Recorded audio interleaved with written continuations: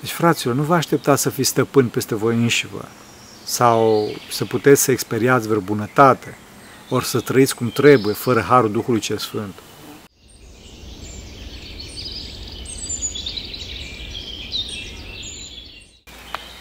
Slavă Tatălui și Fiului Sfântului Duh și acum și purea și veci veci. Amin. Pentru că cine Sfinților Părinților noștri, Doamne, este Hristos, Fiul lui Dumnezeu, milește pe noi. Amin.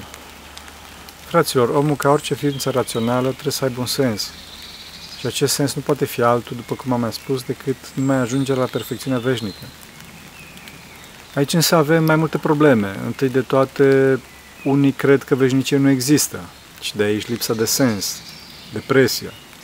Chiar dacă în interiorul lor, vrând nevrând, se îngrozesc de lipsa veșniciei, se îngrozesc de moarte. Fraților, veșnicia există. Fraților, însăși avansul nostru, tendința noastră spre infinit, viața noastră care arată ca un drum, ca o pistă de decolare, arată că este absurd ca toate acestea să se termine în neființă. Vedeți că acumulăm, acumulăm, acumulăm experiență, sentimente, cunoștințe, unor chiar și avere, și dintr-o dată toate se lovesc de zidul morții. Avem memorie, avem conștiință, trăiri. Toate acestea trebuie să aibă un sens. Iar sensul nu poate să fie moartea, ci veșnicia. Adică împlinirea acestora pe care le-am acumulat aici pe pământ. Din cauza asta, fraților, cei care nu cred în Dumnezeu, care nu cred în veșnicia fericită și în dreptatea veșnică, sunt depresivi. Este una din principalele cauze a depresiei, să știți. Acum, dincolo de această logică, există și o mulțime de experiențe cu oameni care au fost în pragul morții sau chiar au murit și s-au întors. Acum, dincolo de destule cărți cu mărturii și minuni, chiar eu cunosc personal astfel de oameni. Prima mea experiență cu astfel de evenimente a fost când eram în lume. În cercul nostru de prieteni era un băiat care făcea foarte, foarte multe glume. El avea un Citroen din acela mai vechi, adică un fel de tank pe roți, nu știu dacă știți. La un moment dat, prietenul nostru dispare din grup și reapare după vreo câteva săptămâni, de data asta cu o mine foarte serioasă. Noi cei din grup, când l-am văzut, i-am zis jovial, bă, unde ai fost? Iar el ne-a răspuns foarte, foarte serios, a zis, am văzut raiul. Am început să râdem, da? Însă când ne-am uitat mai atent la fața lui, am văzut că era cât se poate de serios și că nu i-ar dea deloc de glumă. Am înghețat și l-am întrebat ca să aflăm amănuntul de el. Ce se întâmplase? Mi-a spus că gonea pe autostradă, pe autostradă cu Citroenul respectiv și la un moment dat s-a angajat într-o curbă largă, știți așa, care permitea să, nu, să nu reducă viteza, însă nu vedea ce are în față. În față însă era oprit o dace care se defectase și familia, slavă lui Dumnezeu, că se coboruse din mașină pentru a încerca să găsească un șofer mai priceput care să ajute și, deci nu erau foarte atenți la ce se întâmpla în spatele mașinii, dar totuși erau în afara mașinii. În Dacie însă rămăsese o, feti, o fetiță mică, dar copilul familiei respective rămăsese pe bancheta din spate. Da? Mulțumim la Maica Domnului până la pământ că era securizată, dacă țin bine minte, era în scaunele alea protective pentru copii. Nu mai rețin, vă rog să mă iertați. În orice caz, Citroenul a lovit-o din plin, așa, Dacia și impactul a fost atât de mare încât Citroenul a intrat cu farurile până în coastele fetiței, da? care nici măcar nu și-a dat seama ce s-a întâmplat și continua, mă rog, din cauza șocului, să mănânce din biscuiții pe care mânca înainte de accident. Da? Au fost fraților, ferească bună și Sfântul Dumnezeu.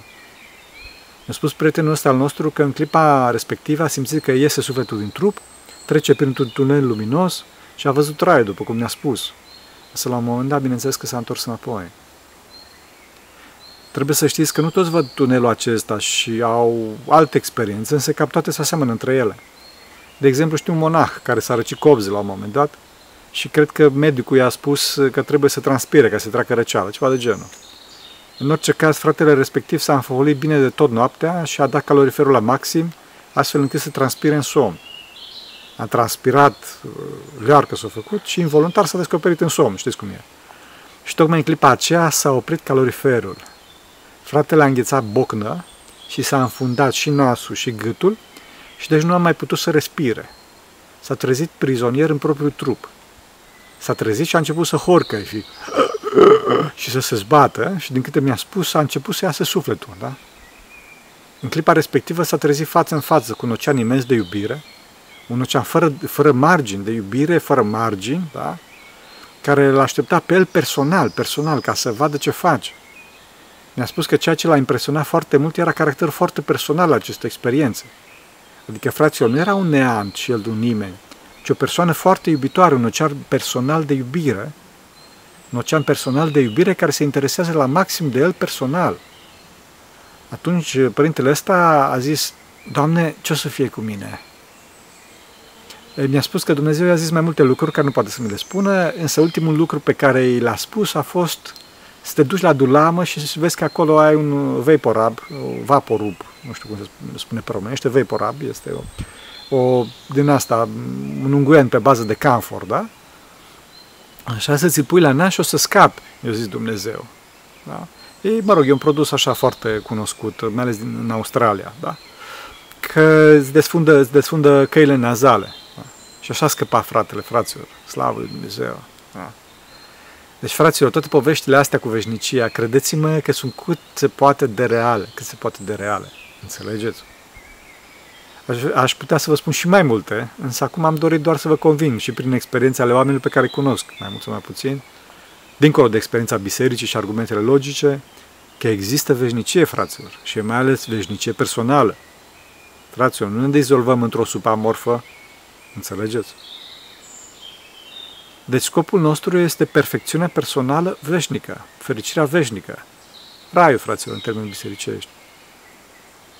Dumnezeu este modelul nostru cu care trebuie să ne asemănăm și este total imaterial și personal. Asta este Dumnezeu, imaterial și personal. Dincolo de asta, învățătura duhovnicească a bisericii și chiar și fenomenul morții ne învață că trebuie să ne concentrăm mai degrabă pe suflet, pe sufletul veșnic și mai ales pe Duh. Și nu atât, fraților, pe materie, pentru că materia, trupul, naște ceartă, naște decadență, moarte, separare. Accentăm iarăși că materia nu este rea fraților în sine, ci constituie un centru de, atac, de atracție de parte de Dumnezeu. Înțelegeți?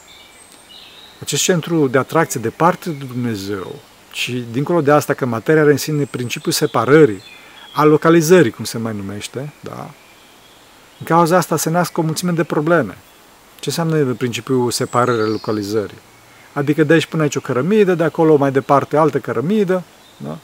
Asta este valabil până și la nivel molecular, adică fiecare moleculă, zicem așa, are locul ei separat.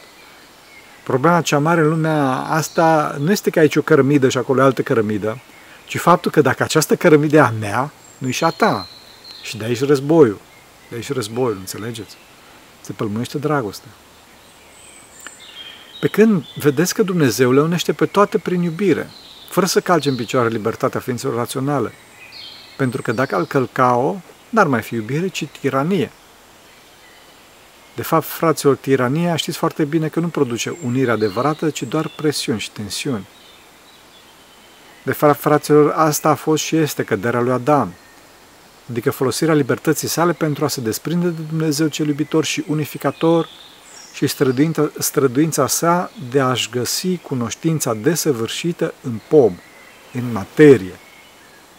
Astfel, omul s-a despărțit de Creator, s-a despărțit de creație, inclusiv de Eva, și chiar mai mult, acest principiu al despărțirii a intrat chiar și în noi. Vedeți cum a fost creat din suflet și trup.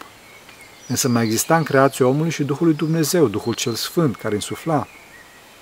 Din cauza asta, unii părinți spun că omul este alcătuit din două părți, adică suflet și trup, iar alții spun din trei părți, adică suflet, trup și duh, acceptând faptul că Duhul lui Dumnezeu să se lășluia înainte de cădere, în partea cea mai fină, cea mai înțelegătoare a sufletului, adică în minte. Este desigur altceva decât, minte, decât mintea fiind Duhul lui Dumnezeu, da? Și era luminătorul acestea. Fraților, fără Duhul, omul orbecăie, pentru că nu are cel, nu are repere adevărate. Înțelegeți? Cu toate că Duhul Sfânt este Duhul lui Dumnezeu, adică Dumnezeu adevărat, o persoană sfinte trăim, destui sfinți îl numesc oarecum și Duhul omului. De ce? Pentru că Duhul lui Dumnezeu, din iubire față de om, se supune acestuia și încearcă să fie ascultător. Pentru că modul corect de existență a ființelor este ascultarea. Restul este distorsiune. Și deci Duhul se supune omului, Duhul devine Duhul omului, Duhul cel Sfânt. Înțelegeți?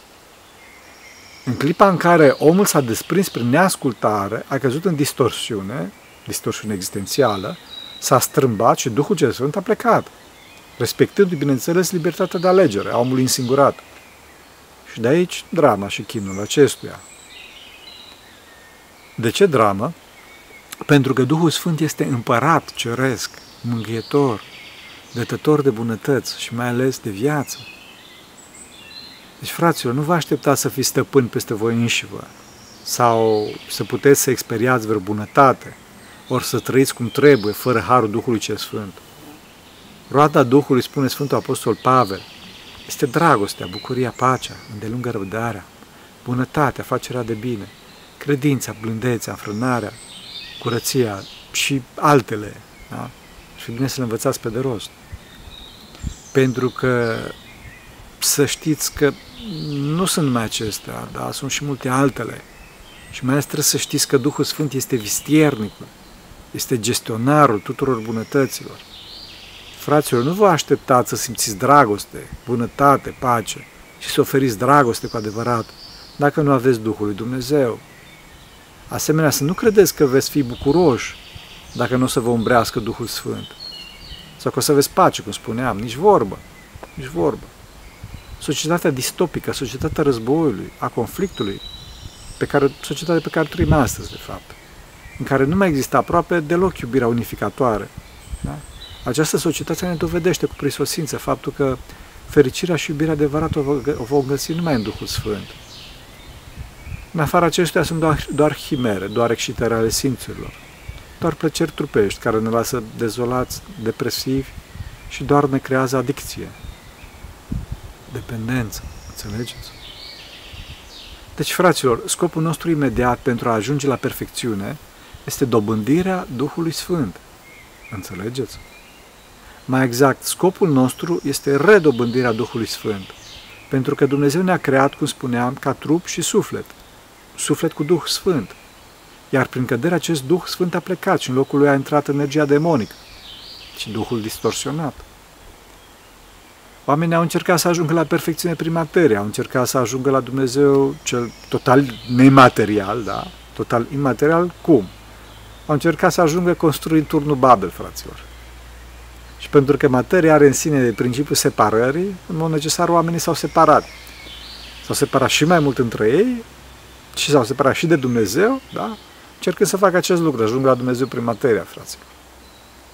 Vedeți că problema nu este faptul că oamenii încearcă să ajungă la perfecțiune, ci că încearcă să o caute acolo unde nu este și într-un mod total nepotrivit. Înțelegeți? Bun, să vedem cum dobândim, cum dobândim Harul Duhului Celui Sfânt, cum dobândim pe Duhul Cel Sfânt pentru a dobândi toate aceste daruri, adică pentru a dobândi liniștea, pentru a dobândi fericirea și, în ultimă instanță, perfecțiunea, adică pentru a ajunge la ținta noastră. Ha, bun, să vedem înainte de toate ce zice la Scriptură. Zice acolo că Domnul a zis apostolul să meargă și să stea în Ierusalim, adică în cetate, adică în inima lor, că știți că Ierusalim este icoana inimii să stea acolo până ce va veni făgăduința Tatălui. Da? Adică până ce va veni făgăduința la Dumnezeu. Deci, fraților, să nu ne aventurăm, pentru că viața trăită la extreme sens trupesc nu ne duce la Duhul cel Sfânt. Mai degrabă o viață cât mai simplă de așteptare a făgăduinței Duhului, a făgăduinței Duhului Ceresc. Viață care în exterior este în mod voit o viață simplă. Viață natura, naturală, lipsită de griji, pentru a se putea potența la maxim trăirea duhovnicească interioară, adică redescoperirea persoanelor și întâi de toate a lui Dumnezeu și prin Dumnezeu a celorlalți. Fraților, să nu ne gândim atât ce se face din punct de vedere material și administrativ, să, să ne concentrăm mai mult pe, pe, pe, pe, pe viața duhovnicească, de așteptare, prin fapte bune a Duhului Celui Ceresc. Da? Să nu facem lucruri de prisos care nu ne pot ajuta după moarte, fraților. Înțelegeți? Fapte bune. Ok, și care sunt faptele bune? Păi să vedem ce zice Scriptura mai departe. Zice că Duhul cel Sfânt a venit în ziua cinzecimii, când erau toți adunați împreună în același loc și știm că se rugau în foișorul de sus. Deci faptele bune, fraților, sunt faptele care cresc unitate între noi, care ne adună, faptele de iubire, faptele de milă care ne unesc cu Dumnezeu și între noi. Dincolo de asta, e rugăciunea curată, da? care de fapt este o mare faptă de milă. pentru că ne unește între noi și cu Dumnezeu. Pentru asta, fraților, trebuie să ne separăm de lume în foișorul cel de sus. Fraților, mai puneți celularele pe mod avion, fraților. Chiar funcționează butonul respectiv, să știți. Lăsați știrile, că n-am ce să vă ofere. Retrageți-vă în foișorul de sus. Primul lucru când ajungeți acasă, după ce vă sărutați familia, da? puneți-vă pe rugăciune curată, fără griji, pe cât posibil. Fraților, știrile sunt pe net, fraților, nu pleacă de acolo. Nu zic că e bine, însă nu pleacă de acolo. Dacă nu vă uitați deloc, ar fi cel mai bine, însă hai să zicem că unii dintre voi mai doresc să vadă ce se întâmplă în lume. Fraților, uitați-vă după ce vă rugați. Dacă vă uitați 20 de minute mai târziu, nu sfârșitul lumii, fraților. Și dacă o să fie sfârșitul lumii, măcar am scăpat. Dar dacă însă stați în timp pe știri și la toate gunoaiele informaționale debitate de TikTok și de alte aplicații analoge, o să fiți obosiți până seara, fraților. O să fiți tiktokați și o să faceți rugăciune cu capul în pungă, dacă vi le mai faceți. Fraților, să nu uităm de ținta noastră, să fim focusați, să punem pe primul plan persoanele și mai ales persoane divine, adică Sfânta Trăime, după care cei dragi, familia, Doamna noastră, soțul nostru, copii. Înțelegeți? Fraților, Duhul Sfânt vine dacă îl punem pe Dumnezeu pe primul plan, altfel acesta nu vine. Înțelegeți? Dacă nu, dacă nu ședem împreună cu cei duhovnicești în cetate, în foișorul cel de sus, departe de lume și aproape de cer, și, mă rog, în loc să stăm acolo, ne învârtim și dorim să călătorim și să aflăm câte stele și în soare. Dumnezeu nu vine, fraților, înțelegeți? Da, ok, darul mare al Duhului Sfânt este apanajul aproape exclusiv al monahilor, care se dedică totalmente lui Dumnezeu. Desigur, e aproape imposibil pentru un om din lume să aibă astfel de experiențe. Însă, fraților, întâi de toate, hai să dăm puțin, hai să dăm puțin întâietate lui Dumnezeu. Să pune Dumnezeu pe, pe primul plan chiar dacă monahul este privilegiat pentru că se află sub ascultarea unui părinte duhovnicesc. Însă totuși, totuși, puțin el să guste și fiecare dintre noi, dintre voi, da? cei din lume, câte ceva din acest har al Duhului Sfânt. nu e așa? Înțelegeți?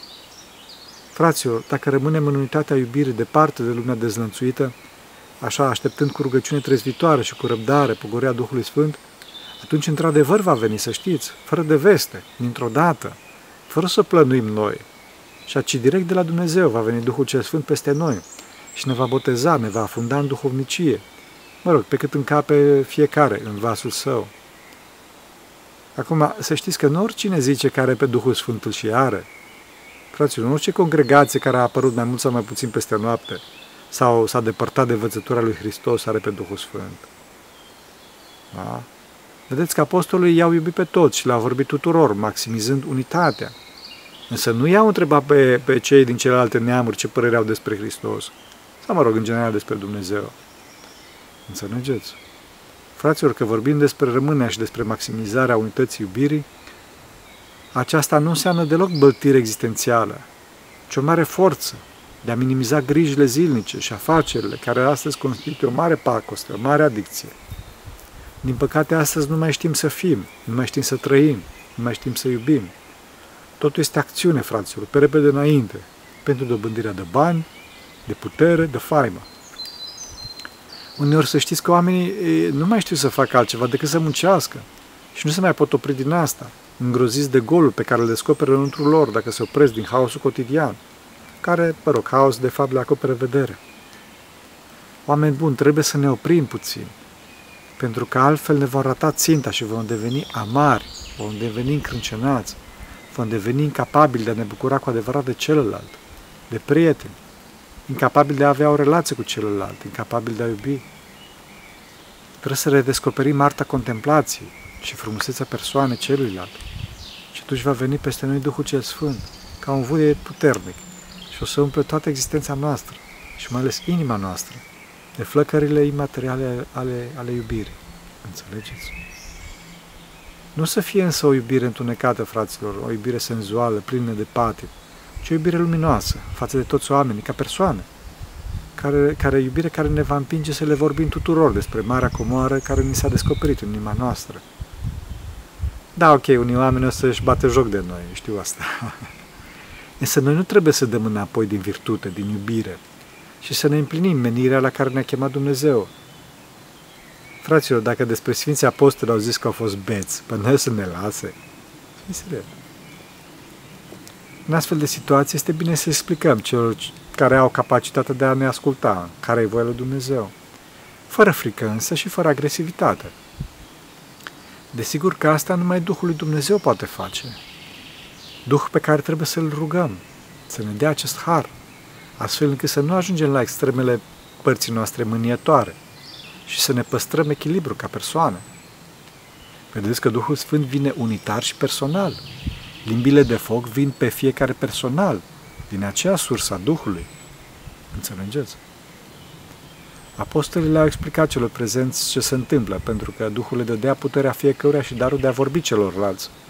Însă, fraților, dacă nu avem experiența și puterea și validarea darului Duhului Sfânt, să nu pornim de unii singuri, pentru că nu vom reuși. Înțelegeți? Să nu credem că avem experiența Duhului Sfânt pentru că profeția citată de Sfântul Apostol Petru, care, de la Ioil, dar spune că profeția asta spune că Duhul Sfânt se coboară peste tot trupul. Fraților, da, așa este, se coboară peste noi toți. Însă, fraților, trebuie să fim deschiși. Trebuie să fim deschiși ca Duhul cel Sfânt să intre în noi. De fapt, fraților, asta este marea drama umanității. Duhul Sfânt vine peste noi, însă noi nu-L dorim pentru că nu ne deschidem inimile față de El. E o mare dramă, fraților. Suntem prea preocupați de adicțiile noastre, de planurile noastre, de egoismul nostru și nu avem timp ca să iubim pe celălalt. Suntem triști și singuri, pentru că socotim că fericirea se află în materie și în interesele personale. Fericirea nu se află în materie, ci în unitatea iubirii în Duhul cel Sfânt. Fraților, astăzi să știți că există o nouă pandemie, o adevărată pandemie, pandemia singurătății. În SUA, peste 60% din tineri și peste 50% din mame, mame cu copii, copii așa singuri, da? 60% din tineri și peste 50% din mame suferă de singurătate acută. 60% din tineri și 50% din mame, am spus-o de trei ori, fraților, suferă de singurătate acută. Fraților, cifrele astea nu am inventat eu, sunt de la Harvard, să știți. Puteți să căutați. Problema este foarte gravă, pentru că oamenii sunt nemânghiați și singuri, încrâncenați pe munca lor, pe interesele lor, crezând că se pot mângâia prin confortul material. Se pot mângâia prin confortul material în absența mângâietorului, cel personal și în absența persoanelor. Nu se poate, fraților. Fraților, interconectarea adevărată se face numai, numai în biserică, apropiindu-ne din Dumnezeu, de Dumnezeu și prin Dumnezeu, pentru că numai așa scăpăm de patim, de închistarea în noi înșine, de egoism. Înțelegeți? Interconectarea adevărată nu se rezolvă prin WhatsApp sau prin Facebook, ci prin relația iubitoare față către față, în care este implicată multă iubire, este implicat mult timp. Fraților, să lăsăm ecranele care nu iubesc și să avem mai multă răbdare, să ascultăm ce spune celălalt ca să-l înțelegem și să avem o dispoziție de ascultare și să, să, și să nu fim pregătiți așa cu muniție formată, da? muniție pregătită, da? muniție cel puțin din cuvinte, dacă nu și din gesturi, muniție ca să, pregătită ca să-l doborâm și să ne arătăm supremația pumnului nostru față de fratele nostru. Pentru că asta, fraților, ne va duce la o tristețe imensă. Tristețe ce provine din singurătatea în care ne vom afunda, Înțelegeți? Și să nu uităm că viitorul trist este veșnic. Să nu uităm că avem responsabilitate mare față lui Dumnezeu relativ la ceilalți. Pentru că prin aceștia ne vine mântuirea. Fraților, nu ne mântuim singuri, ci numai împreună. Înțelegem? În iad mergem singuri. Dacă noi lovim în tot și încercăm să călcăm peste cadavre pentru a ne atinge scopurile, evident că toți ne vor părăsi. Și întâi de toate Duhul cel Sfânt Mânghetor ne va părăsi. Și atunci ne vor părăsi dragostea, bucuria, pacea, lungă răbdarea, facerea de bine, înfrânarea și toate celelalte. Învățați-le peste rost, fraților. Atunci ne vor pierde ținta și asta ia după pământ. Fraților, din singurătate provine depresia, anxietatea, bolile de inimă, consumul de droguri. Când spun droguri, începând de la cele chimice, da, și termină cu sexul și ecranele și multe altele. Înțelegeți? Și atunci atunci aceste, aceste, aceste patii mari care sunt înăuntru nostru, acest iad dinăuntru nostru, va, ne va chinui și va reverber, reverbera și în ceilalți cu care relaționăm. Înțelegeți? Numai în Dumnezeu ne găsim unitatea. Pentru că Dumnezeu este în centrul creației și creația este ca un cerc și existențele sunt pe acest cerc. Înțelegeți? Pe circunferența cercului.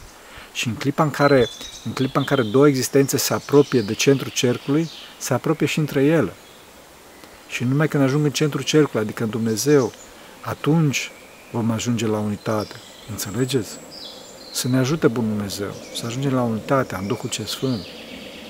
Vă mulțumesc că a stat cu mine până acum și să vă rugați ca toți să fim deschiși, să primim pe Mângâietorul, pe Duhul cel Sfânt, cel veșnic, în inimile noastre. Pentru rugăciune Sfinților Părinților noștri, Doamne, Sfântul Hristos, Fiul Dumnezeu, minește pe noi. Amin.